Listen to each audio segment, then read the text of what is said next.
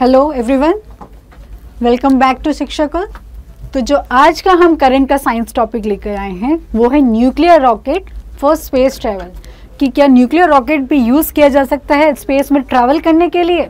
आइए जानते हैं अंतरिक्ष यात्रा के लिए। तो ये क्यों हम पढ़ रहे हैं, क्यों ये चर्चा में है, वो हम पहले देख लेते हैं कि जो संयुक्त राज्य ने अमेरिका रक्षा उन्नत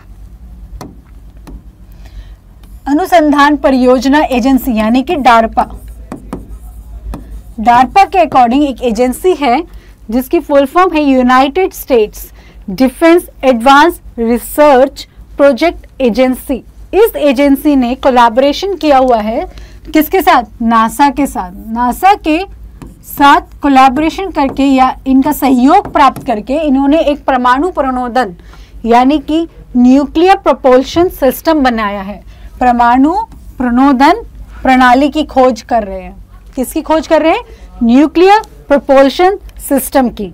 ठीक है? कि भाई, क्या हम न्यूक्लियर से भी एक रॉकेट भेज न्यूक्लियर रॉकेट भी भेज सकते हैं स्पेस पे ट्रैवल करने के लिए? जिससे क्या होगा? हमारा टाइम समय कम लगेगा मतलब समय बचेगा। ठीक है? किस लिए, किसको कट डाउन करने के लिए? समय को। समय को आधा करने के लिए। संभाविक रूप से मंगल ग्रह की यात्रा के समय को आधा कर सकती है। अगर हम न्यूक्लियर रॉकेट को यूज़ करें तो मार्स तक पहुँचने का हमारा जो टाइम है, जो अभी लगता है, उससे जस्ट हाफ़ टाइम हमें आधा टाइम लगेगा मार्स पे पहुँचने का, अगर हम यूज़ करते हैं न्यूक्लियर रॉकेट। तो वहीं डार्पर नासा के साथ सहयोग करके एक एजेंसी जो है, मिलके बना रही है न्यूक्लियर रॉकेट। इस महत्वाकांक्षी पहल को demonstration rocket for agile cislunar operation के नाम से रखा गया। मतलब इसका क्या नाम रखा गया? Demonstration rocket for agile cislunar operation. Cislunar operation मतलब D R A C O Dracos को रखा गया। इस ऑपरेशन का नाम, इस ऑपरेशन के तहत उन्होंने माना कि इसको वर्ष 2025 के अंत में या तो एंड ऑफ़ 2025 या फिर 2026 की शुरुआत तक हम कोशिश करेंगे अपना ये शुरुआत करने की न्यूक्लियर रॉकेट स्पेस तक भेजने की, जिससे हमारा समय आधा हो जाए मार्स तक पहुँचने के लिए। क्लियर अब ड्राको क्या ऑपरेशन है? उस ड्राको के बारे में हम जान लेते हैं कि इस डेमोन्स्ट्रेशन रॉकेट क्योंकि पहले तो एक ट्रायल लेंगे डेमोन्स्ट्रेट करेंगे, तभी हम आगे फाइनल स्टेप रखेंगे। ठीक है? तो इन्होंने इसमें क्या रखा? इसकी लॉन्च डेट इन्होंने रखी है क्या? लेट 2025 या 2026 के स्टार्टिंग में? इन्हें ये मान के चल रहे हैं कि भाई तब तक हम प्रिपेयर कर लेंगे अपने आप को। क्यों? इसके अंदर क्या है? ड्राको की क्या इसके अंदर इन्होंने नीति रखी है कि किस प्रिंसिपल पे ये वर्क करेगा, कैसे ये कार्य करेगा? तो ये एनर्जी डिराइव करेगा कहाँ से? जो फ्यूजन होता है यूरेनियम एटम्स का। तो यूरेनियम एटम्स के फ्यूजन से ये एनर्जी डिराइव करेगा। यूरेनियम एटम्स के फ्यूजन से। ये क्या करेगा? एनर्जी डिराइव करेगा। ऊर्जा प्राप्त कहाँ से करेगा ये? यूरेनियम एटम्स के फ्यूजन से। तो वही है ड्रैको परियोजना खगोलीय पिंडों के बीच कम यात्रा, यानी कि समय को बचा रहे हम टाइम को। समय और बेहतर ईंधन दक्षता की संभावना प्रदान करती है ड्रैको की दृष्टि का केंद्र एक परमाणु रिएक्टर है।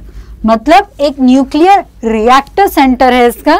ठीक है, जैसे आप ये देखेंगे तो ये जो सेंटर है, इसका क्या है? ये न्यूक्लियर रिएक्टर सेंटर है। ठीक है?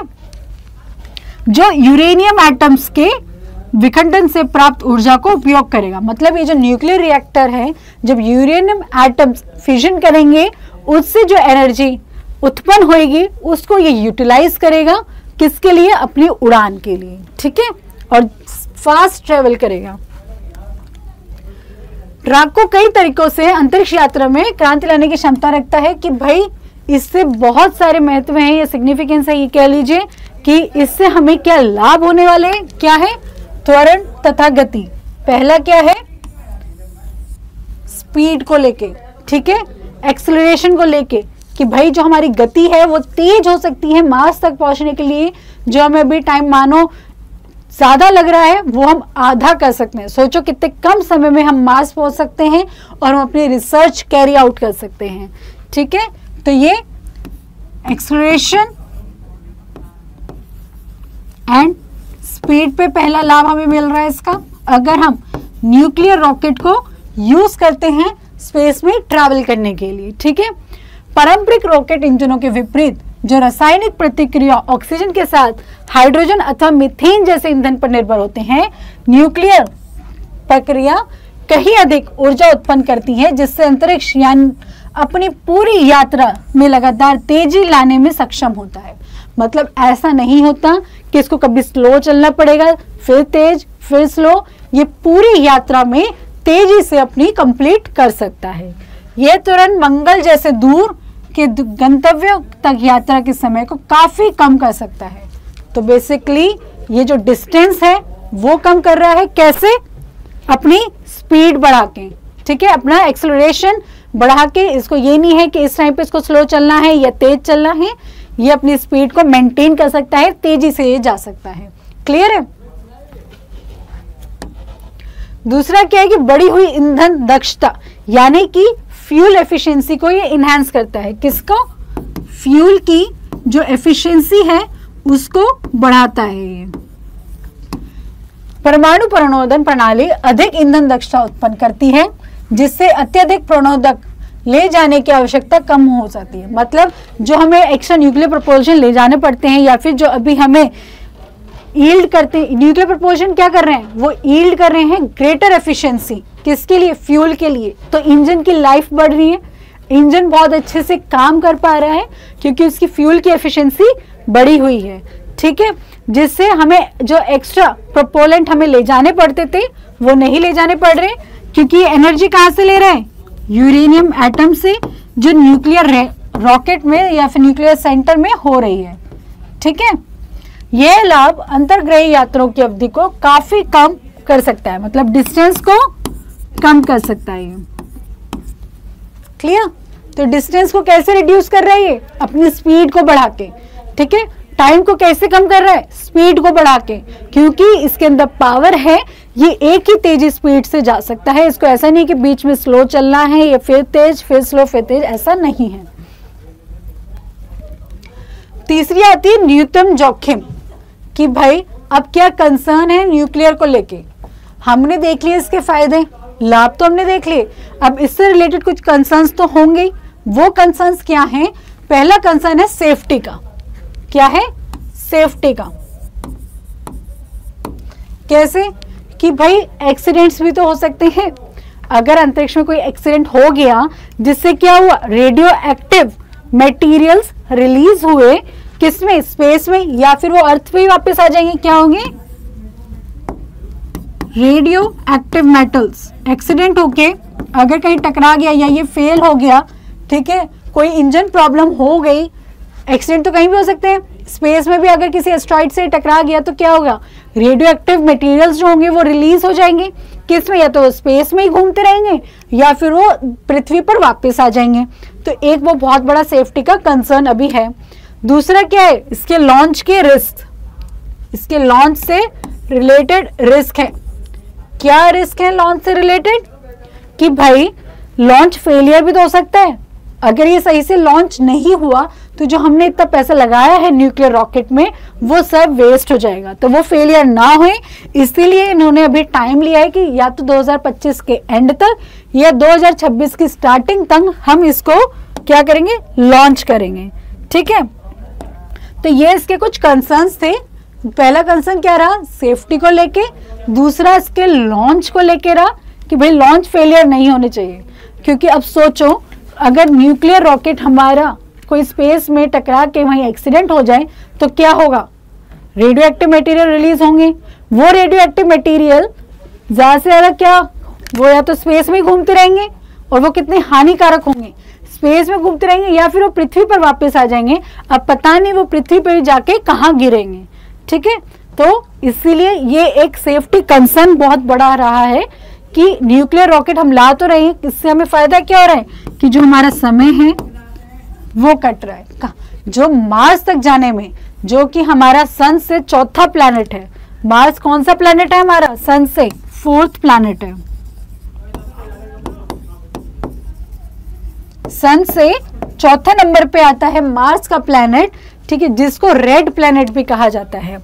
तो मैं अगर इसको बोलूँ कि मार्स जो है फोर्थ प्लेनेट है सन से। ठीक है?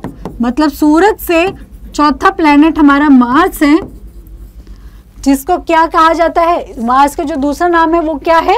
रेड प्लेनेट इसको रेड प्लेनेट भी कहा जाता है।